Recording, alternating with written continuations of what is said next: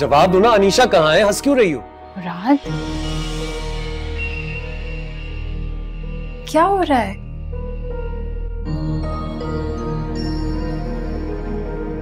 Anisha this is not fair जो भी हुआ ठीक नहीं हुआ।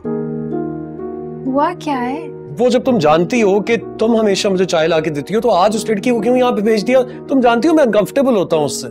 मुराद बुआ ने उसे कह दिया होगा। वो तो खुद बेचारी नहीं है। उसे क्या पता कि हर रोज मैं आपको चाय देती हूँ?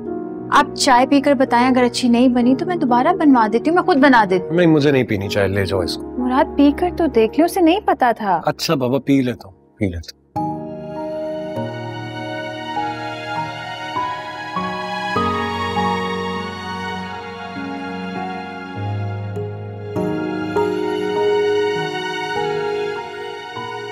कैसी है?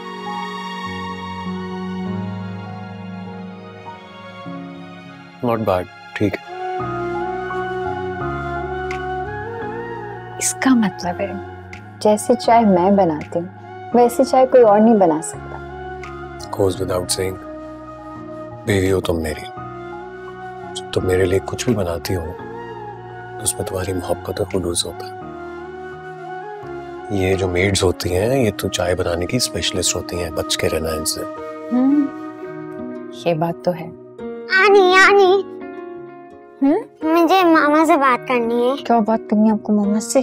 चलिए आपको मामा से बात करनी है तो मामा से बात करा देते हैं। वैसे क्या बात करनी है आपको मामा से? क्या कहेंगे मामा से? हम्म?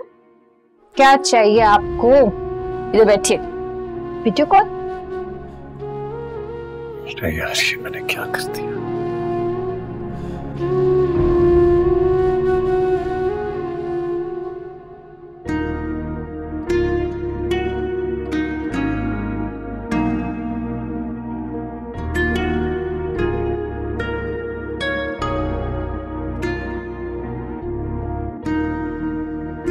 कहाँ जा रहे हो? मैं खाला की तरफ़। कोई ज़रूरत नहीं है। अपनी हालत तो देखो। अम्मी ठीक हूँ आप ठीक हो। पूरी रात दर्द से कराते रहो बिस्तर पर। अम्मी मैंने आपसे कहा ना कि मैं ठीक हूँ तो मैं ठीक हूँ। मूसा देखो बेटा अपने आप को संभालो और ये रूही के ख्वाबों से बाहर निकलो। वो ना तुम्हारी थी ना है। और ना होगी। अम्मी अम्मी खुदा का वास्ता है आपको। आप तो कम से कम मुझे दर्द ना दे। आप तो मेरी माँ हैं। आप तो मेरी तकलीफ़ समझे। माँ हूँ। इसीलिए कह रही हूँ कि उसके चक्कर से बाहर निकल आओ। मैं तुम्हारा दुख दर्द नहीं देख सकती। देखो बेटा मेरी बात सुन। चमकता हुआ चाँद आँखों को कितना अच्छा लगता है। लेकिन लेकिन हम चाहकर भी उसे अपने आँगन में तो नहीं उतार सकते ना। बस, मैं तुम्हें यही बात समझाना चाह रही हूँ। और अगर तुम समझ जाओ तो यही तुम्हारे हाथ में बेहतर है।